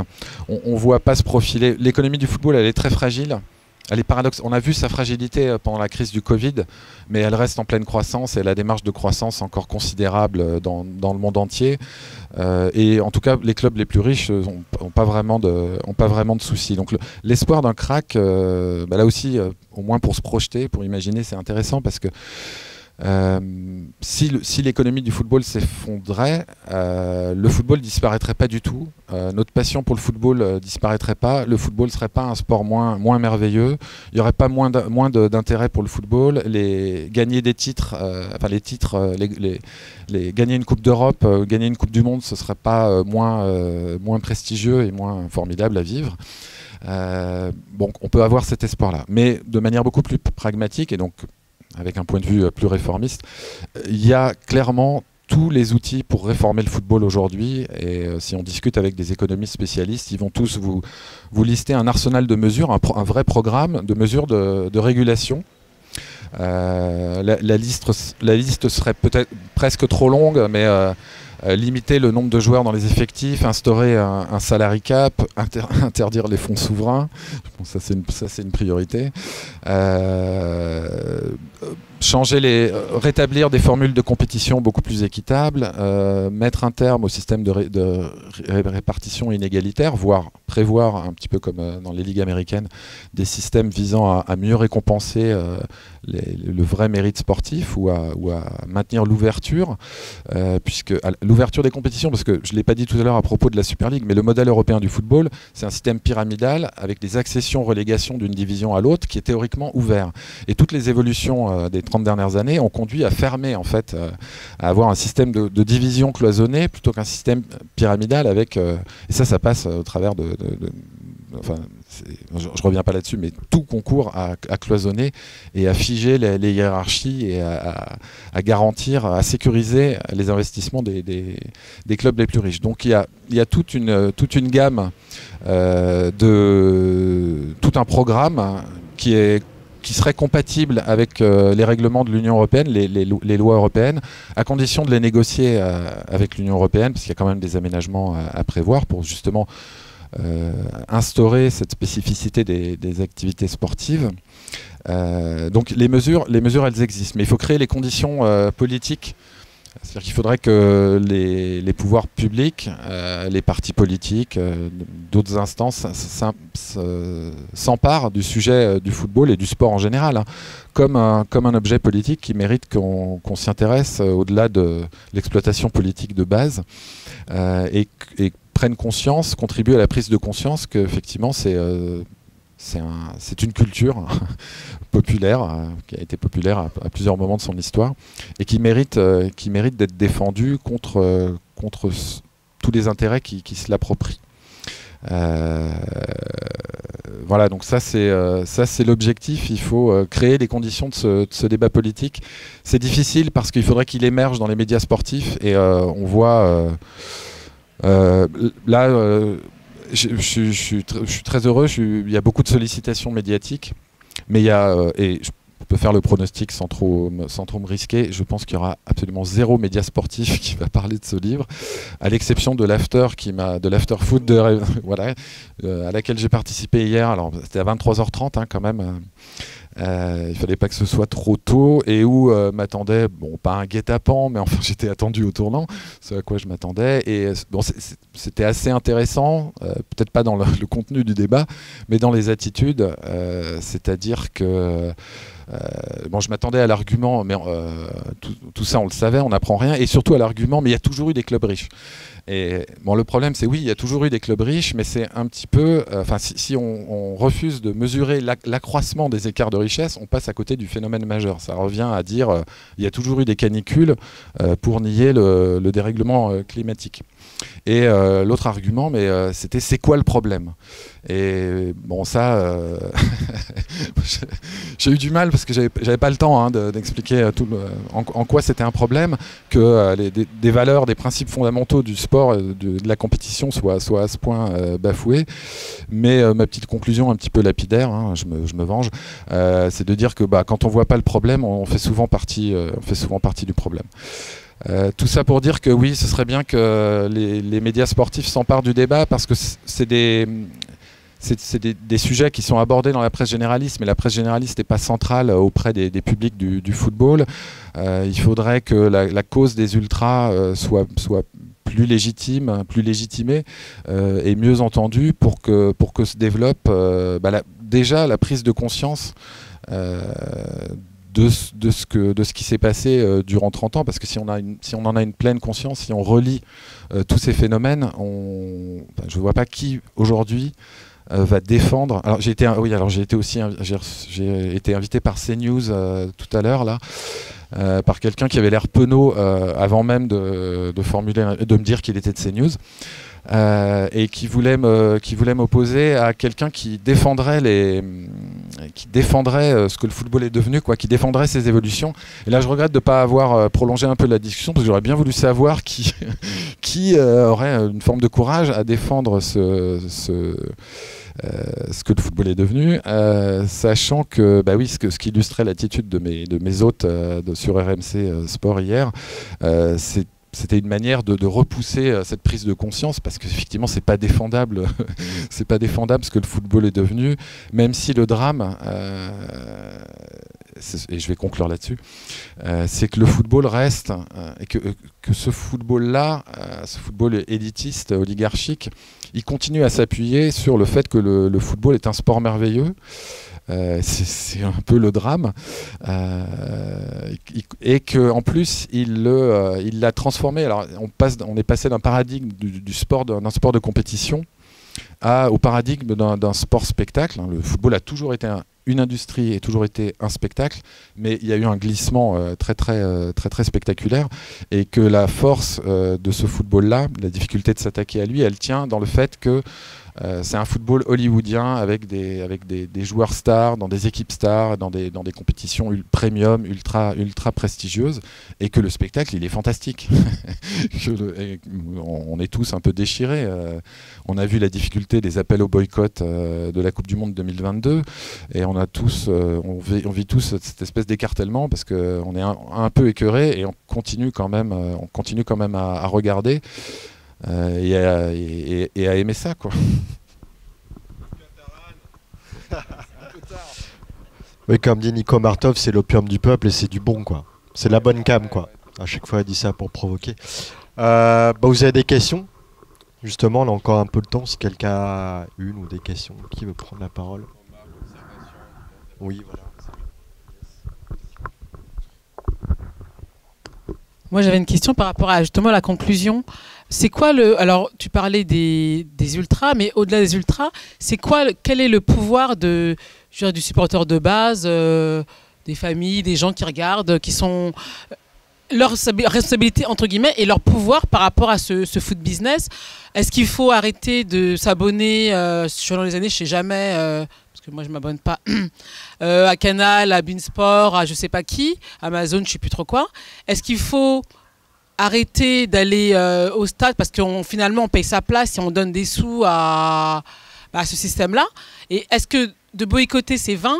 Et est-ce que on a pas malgré tout, enfin quand je dis on, c'est les supporters de base, un pouvoir qui est un pouvoir aussi économique en disant non, en arrêtant de regarder, ou alors en contournant, en payant pas les, droits télé et en arrêtant d'aller euh, au stade? Ben, c'est c'est une question difficile que tu me poses là. Hein. Euh, comme je disais déjà, il faudrait, il faudrait pouvoir ça. Non, je le disais pas ça. Euh, il faudrait pouvoir s'arracher à son statut de consommateur, parce que euh, voilà, tant, qu'on reste consommateur, effectivement, on alimente, on alimente la machine, et on voit pas. je disais tout à l'heure qu'on on voit pas de crise se profiler, c'est-à-dire qu'on il y a des inquiétudes parce que il y a un, des problèmes posés euh, par ce modèle économique basé sur les droits de diffusion, c'est que l'accès au football est de plus en plus euh, payant et de plus en plus euh, dispersé. C'est-à-dire qu'aujourd'hui, si on veut suivre la plupart des compétitions majeures, bah, il faut trois abonnements. ça coûte extrêmement cher, sachant qu'aller au stade, bah, ça coûte aussi ça coûte cher. Alors c'est variable, c'est-à-dire qu'il y a une, une, gentrification des tribunes très spectaculaire en Angleterre. Euh, et paradoxalement, c'est dans, ce championnat le plus riche euh, qui a les résistances les plus, euh, constituées. Avec, il y a des clubs qui ont, il y a des supporters qui ont refondé un club de Manchester, hein, le FC United of Manchester, en repartant de zéro, qui aujourd'hui ont réussi à, faire financer la construction d'un stade de 13 000 places, par exemple. Et bah, là, je, passe directement à un exemple de, contre-modèle, d'alternative. Il y, y, a des exemples, on en trouve, il y, en a en Angleterre. On peut refonder des, supporters peuvent refonder des clubs. C'est une expérience euh, assez, merveilleuse, mais effectivement, on renonce euh, au plus haut niveau. Il y a aussi euh, des expériences paradoxalement qui, qui, naissent de situations dramatiques, c'est-à-dire des clubs qui sont repris en coopérative, comme le SC Bastia qui était en faillite il y a quelques années, qui a été repris par des investisseurs, par, des investisseurs locaux. Aujourd'hui, à Sochaux, qui, qui, était aussi en faillite, qui était menacé de disparition fait l'objet d'un projet de reprise un peu, par la base. Euh, il y a des clubs qui, euh, y a des clubs professionnels qui incarnent des contre-modèles, même s'ils ont beaucoup d'ambiguïté. On peut parler, on du Red Star, on peut parler de, de, St. Pauli à, Hambourg, qui est à la fois un club militant qui se bat pour l'accueil des migrants, pour les droits des LGBT, mais qui est un des meilleurs clubs du monde en matière de marketing. Je peux en témoigner puisque j'ai deux t-shirts et une casquette de, de San Paoli. voilà, il y, y, a des contre-modèles de. Bah, pour répondre, parlons plus à ta question, c'est comment arracher l'amateur de foot à son statut de consommateur, c'est difficile parce que le boycott euh, marche pas. Euh, notamment parce que le football reste tellement attractif qu'on n'arrive pas vraiment à y renoncer. Mais le, risque, j'arrive enfin à ce que je voulais dire, c'était qu'à à force d'avoir des offres de plus en plus payantes et éparpillées, on finissait par dissuader euh, les amateurs de foot et par se couper, enfin d'arrêter de conquérir euh, les plus jeunes. Parce que c'est payant, parce que c'est pas sur les bons canaux, parce que c'est complètement éparpillé, etc. Donc il y, a un vrai risque de, perte de popularité du football. Mais aujourd'hui, ça reste, euh, ça reste extrêmement rentable, donc c'est difficile. Et donc là, j'en reviens au contre-modèle. Tout à l'heure, j'ai parlé du contre-modèle allemand, hein, qui est un modèle de très haut niveau, avec une, économie très puissante, mais qui montre qu'une alternative est possible. Euh, j'ai parlé des clubs qui font un peu office de contre-modèle, et puis il y a les clubs militants, euh, les clubs amateurs. On peut retrouver, euh, même si le monde amateur peut être un peu contaminé par l'esprit de compétition, du moins pour ceux qui cherchent à, notamment en, région Île-de-France, à, former les futurs stars, mais on peut retrouver on peut retrouver de la, de la fraîcheur, du plaisir, à être au bord, à, couder à la main courante et à regarder du football, du football, du football amateur. Il y a, on peut investir des espoirs dans le, dans le football féminin euh, parce que euh, parce que c'est un, bah, un, autre football à, plein d'égards. Si s'il y en a parmi vous qui ont assisté à des matchs de la Coupe du Monde en, 2019, ils ont pu ressentir euh, vraiment physiquement à quel point l'ambiance des stades était différente. Alors moi je critique pas l'ambiance des, des, stades de, football masculin parce que j'adore ça. Prendre une claque acoustique au Parc des Princes, euh, ce, sera, toujours un bonheur, ou à Geoffroy Guichard, enfin bref. Euh, mais euh, il y avait comment dire, une atmosphère beaucoup plus bienveillante, beaucoup plus libre, et je pense qu'il y a beaucoup, beaucoup de gens qui se sentent pas bien dans un stade dans un stade de foot masculin et qui ont découvert un vrai plaisir d'assister à, à ce spectacle de très haut niveau lors, lors, de, lors de cette Coupe du Monde. Alors après, euh, le problème, c'est est-ce que le football féminin va pas inévitablement euh, dévaler la même pente que le football masculin? Bon, il y a encore beaucoup de chemin à faire, donc ça peut être, euh, ça peut être une, ça peut être un, bol d'air hein, et ça peut être une manière d'investir de, sa passion du foot sans, sans trop se compromettre, on va dire.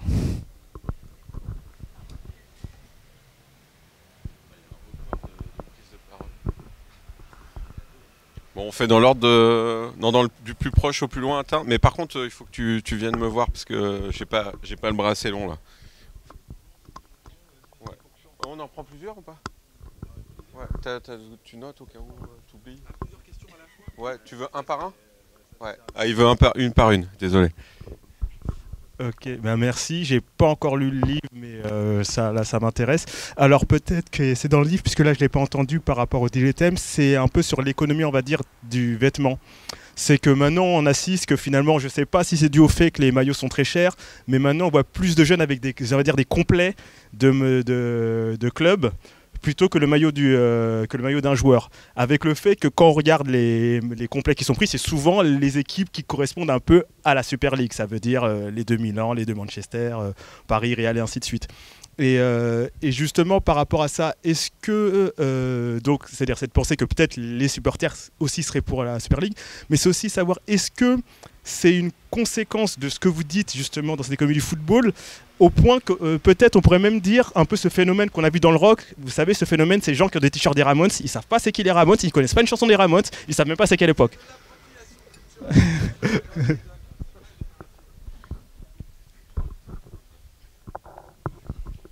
Euh, bah oui, il y a, une. Euh, on, peut observer au travers de la mode, c'est un, prisme vachement intéressant, mais de, voir comment les maillots de foot sont devenus de la, du streetwear. Je ne maîtrise pas le, vocabulaire, hein. je suis désolé si j'emploie pas les, bons mots, mais euh, c'est assez récent en fait. Le, la, vente, avant, dans les années 70, c'était pour les enfants. Les, maillots de foot, ça existait quasiment euh, que pour les enfants, les maillots de foot des grands clubs.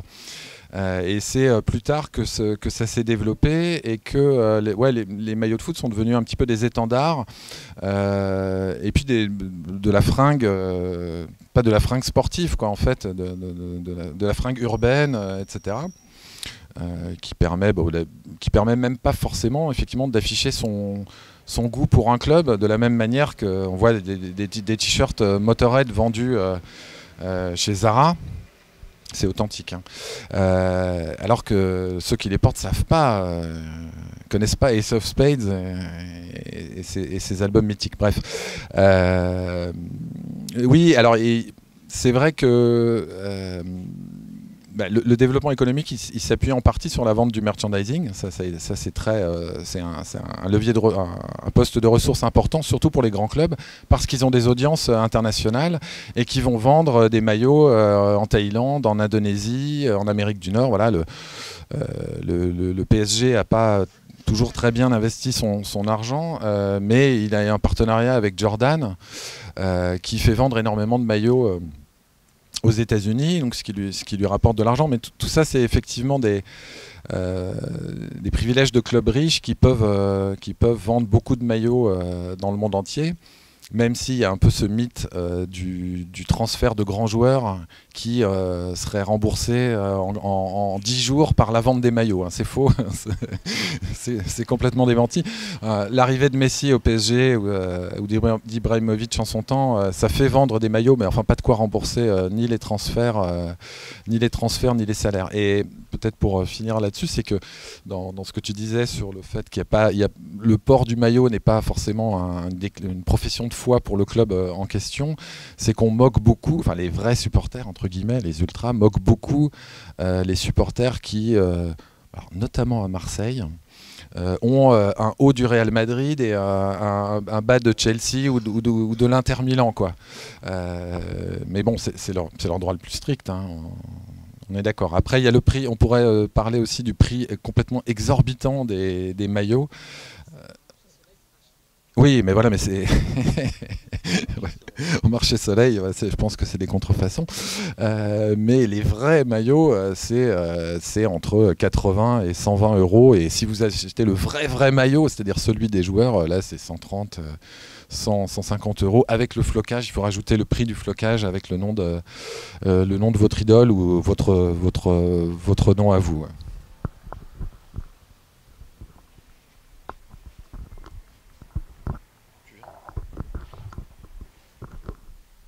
Euh, est-ce que finalement la Super League serait pas un mal pour un bien pour les clubs qui sont qui, en feraient pas partie? Euh, Parce que euh, pour le club lambda de Ligue 1 qui n'est pas le PSG, en fait, aller en Ligue des Champions, ça, ça, enfin, on peut pas la gagner quoi. donc, est-ce que finalement dire, bah faites votre Super League avec un entre grands clubs, vous êtes des grands clubs, très bien, faites votre football à vous, laissez-nous le, ce qui reste euh, ça peut pas être aussi une manière de repenser le football et de dire bah en fait si vous voulez financiariser, si vous voulez faire une ligue fermée entre grands, pourquoi pas Mais euh, nous, euh, les petits ou les historiques qui suivent pas, que la France a beaucoup d'ailleurs, ces historiques qui suivent pas, on est attaché à ce modèle-là. Si vous voulez partir, faites sécession, mais laissez-nous tranquilles.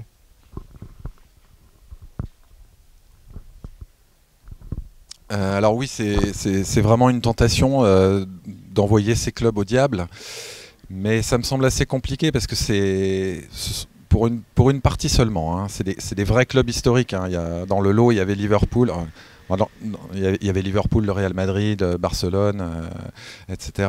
Il y avait aussi Tottenham ou Arsenal qui n'ont aucune légitimité de club historique. Je suis désolé de le dire. Il suffit de regarder les, les performances européennes euh, depuis la création des Coupes d'Europe. Euh, mais c'est difficile parce que, comme je disais, ce, football, il restera extrêmement attractif et il continuera à drainer la majorité des, fans de foot. Parce que c'est là qu'il y aura le, plus beau spectacle, les plus beaux joueurs. Moi, je préférerais très nettement euh, un système dans lequel les régulations que j'évoquais tout à l'heure répartissent beaucoup mieux les, les, talents sportifs et les, meilleurs joueurs dans, plus de clubs, parce que cette, espèce de concentration, il y, a un exemple frappant. Euh, à chaque fois que le PSG joue, il y a un des peut-être 10 meilleurs gardiens du monde qui ne joue pas. Puisqu'ils ont euh, Donnarumma et Keylor Navas.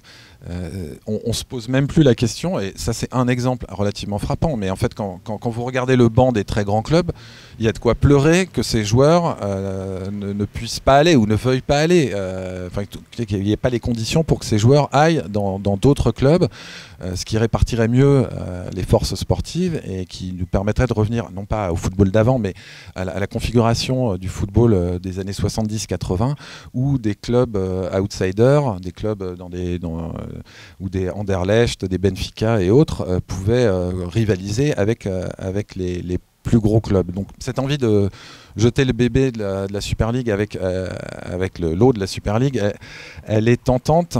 Mais il faut voir, euh, je sais, sais pas, qu'est-ce qu'on peut reconstruire après? Est-ce qu'on peut, euh, est-ce que si vraiment la Super League est complètement fermée, oui, on peut imaginer que les, compétitions actuelles, euh, les championnats actuels se maintiennent et finalement vivent, vivent leur bonne vie et que nous on soit, nous on soit derrière. Mais bah, il y, a- aussi quelque chose qui, s'oppose à ça éventuellement, c'est que les, grands clubs, les, les super ligués, ils ont compris qu'ils qu'ils pouvaient pas tout à fait faire une sécession absolue. Donc, dans la nouvelle formule de Super League qu'ils promeuvent, elle est, moins fermée.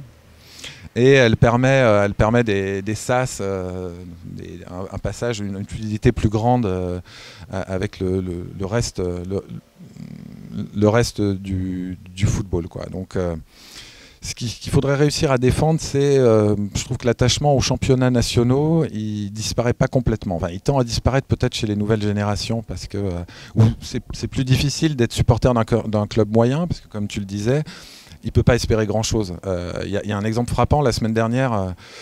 euh, qui a regardé Lens Arsenal? C'est un petit sondage. Ouais, pas mal, ouais. Ah, on, a, passé une super soirée, c'était magnifique. euh, c'était euh, le petit qui bat le gros, euh, dans une ambiance de dingue, dans un stade magnifique. voilà. C'était super. Et puis à la fin du match, tout le monde dit exploit, match historique. Et là, on est plusieurs à se dire mais attendez, c'est un match de poule de la Ligue des Champions, comment ça peut C'est pas ça un match historique. C'est quand on bat le Dynamo Kiev en, euh, 3-0 en prolongation en quart de finale. C'est pas. Euh, c'est pas un match de poule, Euh, mais ça, désigne bien ce que, les, clubs moyens, euh, même si c'est des, grands clubs au niveau national, pe- peuvent espérer. C'est-à-dire que on, sait où en sera Arsenal dans deux ans. Ils seront toujours dans le haut du panier. Ils seront toujours riches, même s'ils continuent à avoir. Là, ça va mieux, hein, mais ils ont eu des politiques sportives assez médiocres. Et euh, Lens, on ne sait pas exactement où ils sont. Où ils seront dans deux ans ou trois ans, mais euh, il y a des chances qu'ils soient retournés un peu dans le rang, euh, euh, parce qu'on voit bien, je parlais de l'Atalanta ou de l'Ajax, c'est-à-dire qu'un club qui, sur, qui surperforme à un moment, il va se faire piller ses meilleurs joueurs au mercato et il va, il va régresser. L'Ajax Amsterdam, oui, aujourd'hui, il est, en grande difficulté en ce moment, mais après sa demi-finale en, en 2019, euh, tout le monde disait. Tout le monde disait, ah, vous voyez, euh, avec une bonne politique sportive, euh, on peut rivaliser avec les plus gros. Je l'ai dit tout à l'heure ou euh, j'ai parlé de l'Ajax tout à l'heure ou pas? Un petit peu. Je- Ouais, je, confonds euh, RMC et le monte en l'air, quoi. Non mais. voilà, ouais. Euh, donc, bah tant pis hein, si je me répète, mais euh, ou si vous avez déjà écouté l'after hier, euh, oui, tout le monde s'était extasié sur le parcours de, l'Ajax Amsterdam 2019 en disant, ah, vous voyez, avec une bonne politique sportive, on peut rivaliser avec les plus gros. Mais en fait, la- l'Ajax Amsterdam, en, Amsterdam en 95 ou 16, euh, ils remportaient leur quatrième coupe, Ligue des Champions. C'était un grand d'Europe. Et la demi-finale, ils l'ont plus atteinte pendant 22 ans. La saison d'après, dépouillés de leurs meilleurs joueurs, ils sortaient pas des poules. Et, aujourd'hui, ils ont- voilà, ils, sont, euh, ils sont plus que rentrés dans le rang. Ils sont en difficulté dans le championnat euh, des Pays-Bas. Alors là, de, manière totalement autoritaire, je vais demander à Mika ce qu'il pense, euh, parce qu'on a, on a la chance quand même d'avoir une animation de qualité ce soir, mais moi j'aimerais avoir ton avis sur la sécession par rapport à la Super League, qu'on les laisse faire leur Super League dans leur coin. Tu veux pas répondre? T'as pas d'avis? Non, mais même avis? Ouais, d'accord. Bon, écoute, il, est tout d'accord avec toi. Ouais, d'accord, ça marche. Bon, bah tant pis. Euh, Il y avait toi.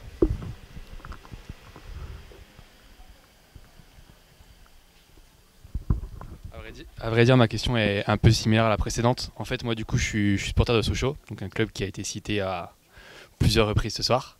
Euh, j'ai vécu un été un peu, un peu compliqué qui, du coup, m'a permis de pas mal réfléchir à, à ce sujet-là. Et donc, euh, c'est vrai que le, lire ces trois derniers jours m'ont permis de, bien compliquer ma, enfin, com- compléter ma réflexion. Et j'avais à peu près la même, euh, la même réflexion que la question d'avant, de me dire que, en fait, j'ai bien aimé votre métaphore sur, euh, sur le miroir. Et moi aussi, j'étais plutôt d'avis de me dire que oui, cette, euh, cette Super League, plutôt que d'avoir cet épisode d'un jour qui nous a permis de passer devant le miroir, en fait, le fait de la, de la vivre et de la voir permettrait justement de l'observer, de se comparer, et en fait, justement, de, voir que, ben, en fait, euh, potentiellement, le foot d'avant serait mieux que, le nouveau, et donc euh, un peu de découvrir ce côté euh, Dr. Jekyll et, Mr. Hyde du, du foot dans le miroir et de pouvoir le comparer au quotidien entre ben, le foot que potentiellement les supporters aiment par rapport au foot qui est devenu. Donc c'était un peu moi, j'avais la même question de savoir si la, la Super League pouvait pas être bénéfique pour tout le monde.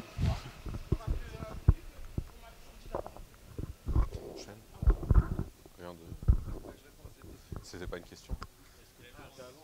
C'était mieux avant Alors moi je suis nantais, donc euh, moi je suis d'accord avec euh, ce que le camarade vient de dire. Euh, non, alors juste un petit mot, mais il faut vraiment pas dire, il faut vraiment éviter c'était mieux avant.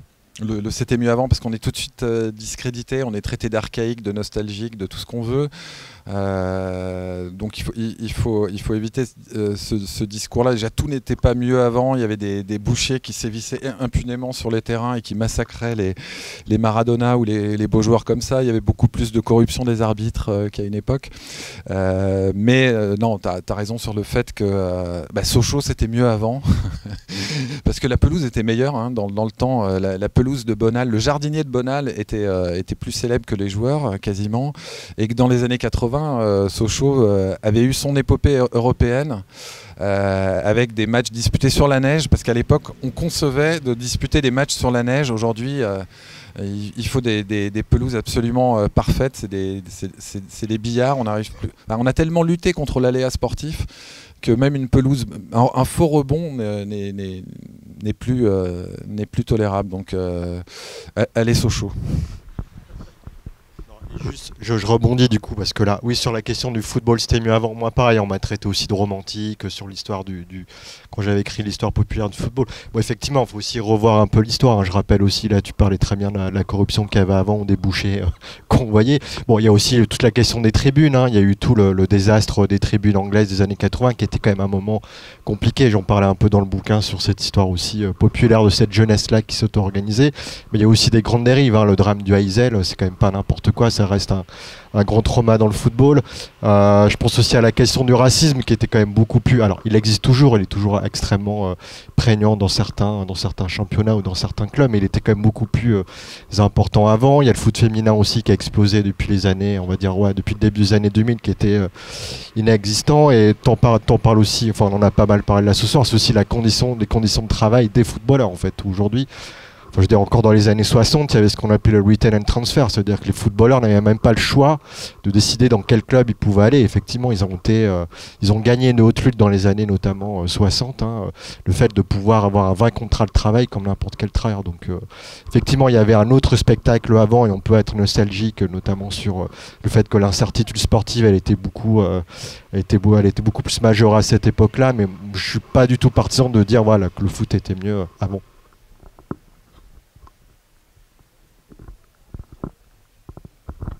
Alors là, on va rentrer dans les, dans les prolongations. Là. Donc, euh, si vous avez des questions, c'est maintenant. 1, 2. Alors, je voudrais saluer le, supporter de Sochaux parce que le premier match que j'ai vu dans un stade, c'était à Sochaux en 73. Même si je ne suis pas supporter forcément de Sochaux, mais c'est une originalité de croiser des Sochaliens. Je voulais rebondir un petit peu par rapport à ce que vous disiez, euh, ce que tu disais, sur le, les fonds souverains. Apparemment. Euh, Ouais, moi, je, euh, les fonds souverains, je ne vois pas ça forcément comme un mal. Le mal, c'est peut-être qu'il y en ait très peu finalement et que ça, crée un déséquilibre. Parce que finalement, ce sont des gens qui mettent leur argent où ils veulent. Euh, par rapport à des, groupes économiques puissants qui peuvent mettre en danger des entreprises, des emplois. Je vois pas trop où est le, problème par rapport aux fonds souverains. Je trouve qu'au contraire, c'est surtout pour un pays comme la France, par exemple, où on est quand même euh, désavantagé déjà euh, de manière endémique par rapport à la, fiscalité. Mais ça, c'est aussi pour ça qu'on on est quand même dans un pays euh, merveilleux. On, peut être soigné quand même dans des bonnes conditions, ce qui n'est pas le cas de tous les pays. Bon, ça c'est une parenthèse. Mais par exemple, je me suis amusé à regarder le Ouzou. Le Ouzou, bon, bah, c'est un, ça recense un petit peu toutes les, toutes les personnalités, notamment les, les grands chefs d'entreprise. Et je me suis, euh, j'ai constaté au, au- au niveau des loisirs sportifs, toutes les personnalités, euh, les grandes personnalités économiques, c'était à chaque fois, très majoritairement, les hobbies sportifs, voile, golf, équitation, parfois un peu rugby, très très peu football. Donc il y a aussi un problème culturel en France par rapport à ça, où on est désavantagé. Et alors c'est vrai que les grands industriels français, euh, ben, il y, a, il y a- il y a le président de Rennes, euh, euh, Pinault. Il y a eu effectivement, tu en parlais, euh, à Lyon, Jérôme Sédou. Mais il y a très très peu de grands industriels français qui investissent dans le football. Donc quelque part, les fonds souverains peuvent permettre de rééquilibrer par rapport à un pays comme l'Angleterre, qui est avantagé par rapport à nous à cause des droits télé. Mais c'est pareil, je trouve que c'est très aléatoire ces droits télé. En quoi, quel est le mérite des droits télé? Par exemple, le, le 18e d'Angleterre, il a un, potentiel financier plus élevé que le, le 4e du championnat de France. Donc ça, ça crée aussi un déséquilibre. Donc c'est pour ça que moi, l'histoire des fonds souverains, je reste plus euh, mitigé. Il faudrait que ça soit un peu plus, euh, un peu plus réparti. Et ça met pas en danger quelque part les emplois, les- entreprises qui pourraient se casser la figure. Tant que c'est des fonds souverains, bah, il y a une forme de sécurité quelque part. Il faudrait que ça soit peut-être limité au niveau des salaires, au niveau des, euh, du potentiel investissement, mais s'il pouvait y avoir des fonds comme ça d'État, mais un peu, un peu plus, euh, un peu plus répartis, un peu plus étendus. Voilà. Je ne sais pas ce que vous en pensez. euh. Pour ou contre les fonds souverains? Contre. Euh, non, ça, pose vraiment trop de problèmes. C'est-à-dire que, comme je disais, le premier problème que ça pose, c'est euh, euh, des, déséquilibres économiques en- encore plus accentués, sachant que les fonds souverains, ils investissent pas dans un championnat, ils, investissent dans un club et ils veulent que ce club soit très, très rapidement projeté dans, dans l'élite. L'Arabie Saoudite a racheté il y a deux ans Newcastle United. Bon, ils ont un peu retenu les leçons du PSG et du Qatar, c'est-à-dire qu'ils y vont un peu plus progressivement en prenant un peu plus modèle sur Manchester City par exemple, mais ça crée un déséquilibre, euh, ça crée des déséquilibres économiques en- encore, encore aggravés, et ça pose un problème moral parce que les, régimes, les nouvelles puissances euh, sportives euh, qui investissent dans le sport, ce sont pas des régimes très enviables, et c'est des régimes qui très explicitement font ce qu'on appelle aujourd'hui du sport washing, au travers de l'organisation de, compétitions ou du rachat de, clubs prestigieux. Euh, on a vu que la- après la Coupe du Monde, euh, dans trois pays, euh, dans trois pays immenses, Canada, États-Unis, Mexique pour la prochaine édition, la suivante sera organisée sur trois continents et pour la, suivante encore, donc 2034, euh, l'Arabie Saoudite s'est déclarée officiellement candidate, sans, sans minorer. Les turpitudes des, démocraties occidentales, euh, le fait que des, régimes comme ça, qui assassinent leurs opposants, euh, qui euh, appliquent la peine de mort à la chaîne, qui répriment les femmes, etc., améliorent leur image au travers du football, non, c'est c'est pas acceptable. Je préférerais, si on devait aller dans le sens de fonds souverains ou d'un un financement public du football avec des, mécanismes égalitaires, oui, pourquoi pas. Mais là, voilà, on est, on, on est, on est plus dans l'Uchronie, on est dans la, on est dans la, dans la science-fiction. ouais.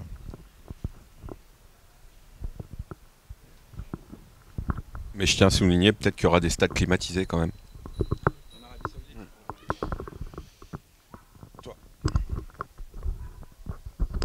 Merci. On, vient d'en parler un peu en fait. Euh, je voulais votre regard sur le dernier foutage de gueule d'Infantino et ses potes. Euh, Infantino et ses potes, donc le 2030, avec les fameux trois matchs en Amérique du Sud euh, pour faire passer l'Arabie Saoudite derrière tranquillement.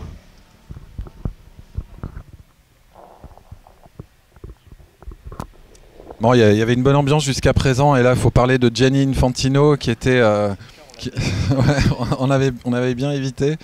Euh, Gianni Infantino, c'était le, le gars chauve qui faisait les tirages au sort de la Ligue des Champions à une époque, et il est passé à la faveur de, circonstances abracadabrantesque, président de la FIFA, à la tête de laquelle il a exprimé un cynisme absolu qu'on a pu mesurer à, l'occasion de la, Coupe du Monde 2022 avec un discours inaugural euh, qui, euh, qui rejetait l'Europe euh, à, ses, turpitudes historiques, à ses responsabilités historiques, comme pour justifier les violations des droits de l'homme dans un pays comme le Qatar ou dans tous les pays vers lesquels la, FIFA se tourne. Mais la FIFA, comme le CIO avec les Jeux Olympiques, Là, on va parler de. On je vais brièvement évoquer la, question des grands événements sportifs qui sont victimes de gigantisme. Hein. la, Coupe du Monde va passer à 48 équipes. Euh, le, prochain euro va être co-organisé par euh, l'Italie et la Turquie.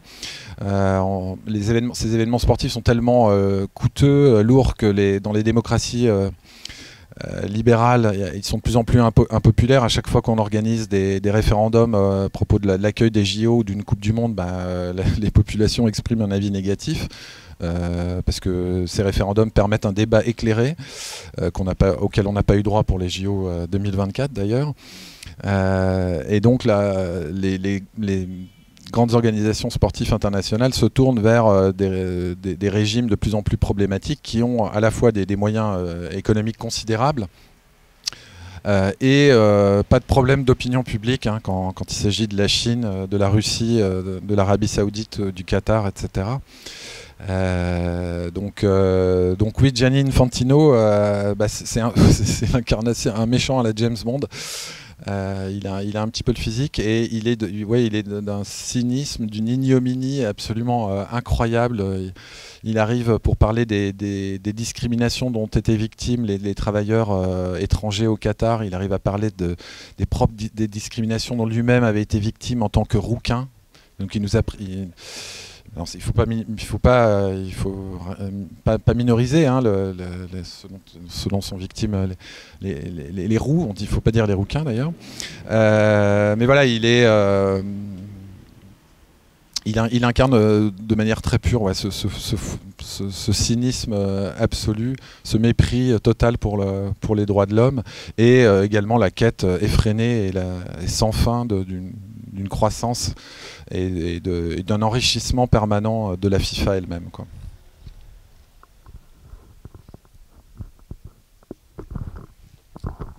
Il me semble qu'il y avait d'autres euh, bras qui, s'étaient levés, mais euh, vous avez tous envie de. Ouais, allez, euh, achetez là. Ouais, ouais, on fait pas tout ça pour, pour la beauté du sport. bon, vous êtes certain, dernière. Ouais, Allez, tu as le droit. Une deuxième question. Je me suis demandé, mais c'est peut-être bête, avec l'arrivée de pas mal de joueurs en fin de carrière, mais quand même assez géniaux euh, au Qatar, en Arabie Saoudite, je sais pas, j'ai suivi ça de loin. Est-ce que quelque part, et j'ai cru comprendre qu'il y avait une chaîne qui avait racheté, enfin il y avait certains qui passait quand même les matchs. Est-ce qu'il n'y a pas un truc qui se profile où on va avoir, euh, parce que moi j'ai pas regardé, mais on a envie de regarder quand même. Est-ce qu'il n'y a pas un truc qui peut se passer là avec un encore un autre truc business qui va arriver où les entre guillemets vieilles gloires mais qui ont quand même de beaux restes et d'autres où ils vont nous créer une espèce de d'autres euh, championnats où on va aligner des beaux des beaux joueurs et puis on va faire payer encore un encore et encore. Euh, oui, là il y a eu euh, il y a eu un move de l'Arabie Saoudite relativement, euh, relativement inédit parce que euh, jusqu'à présent, le, Qatar avait, a, vraiment fait modèle avec une, une, une, stratégie de géopolitique par le sport euh, très. Enfin, à 360 degrés, je suis désolé d'employer un langage PowerPoint, mais euh, euh, ils, ont acheté un club, ils, sont, ils un diffuseur qui finance euh, le football en achetant des droits de télévision, ils sont sponsors et ils, organisent des grands événements comme la Coupe du Monde et ils, font de l'entrisme dans les, fédérations, dans les fédérations et les confédérations sportives. Donc on croyait avoir un peu tout vu. Et c'est vrai que l'Arabie saoudite, euh, cet été, a, frappé les esprits avec un, mercato très spectaculaire. Euh, en recrutant alors non seulement des, stars vieillissantes, hein, des, vieilles gloires en fin de carrière, mais ce qu'avait déjà fait le Qatar dans les années 2000 avant de renoncer rapidement, et de même que la Chine dans les années 2010 avant de renoncer également au profit d'un développement de son propre football, Mais là, ils le font à une autre échelle, pardon, les Saoudiens, parce qu'ils ont aussi recruté des joueurs euh, de 28-30 ans qui ont leur place dans les meilleurs, qui auraient leur place dans les meilleurs clubs européens, et également des espoirs, des joueurs de 23-24 ans euh, qui sont considérés comme des espoirs et promis à une, grosse carrière.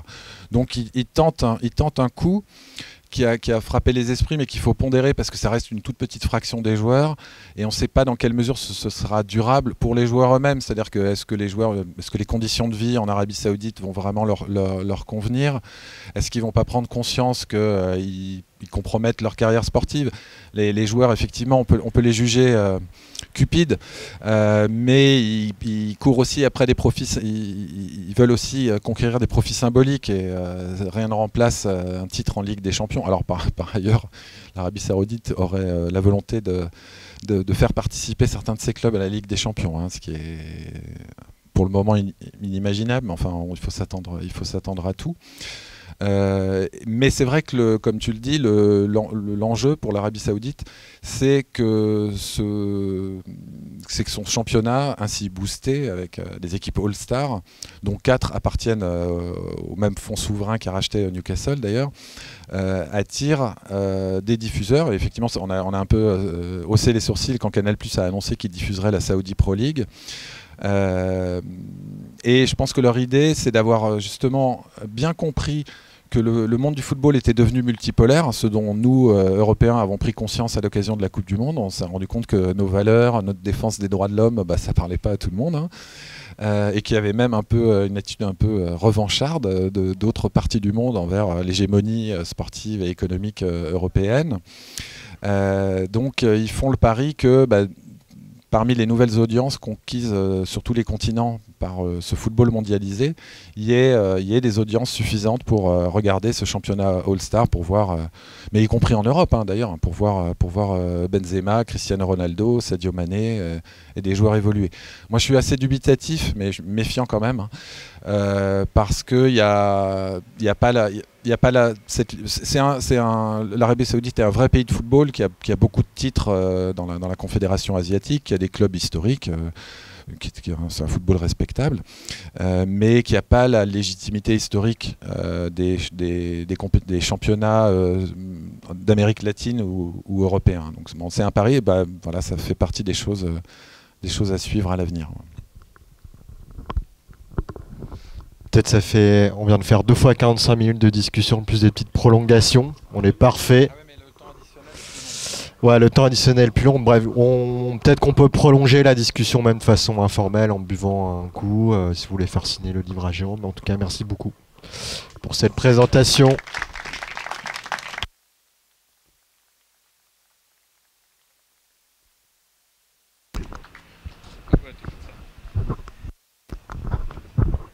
Et euh, moi, moi, je tenais à faire euh, bah, déjà un gros big up à Mika d'avoir animé euh, de main de maître la, la, rencontre.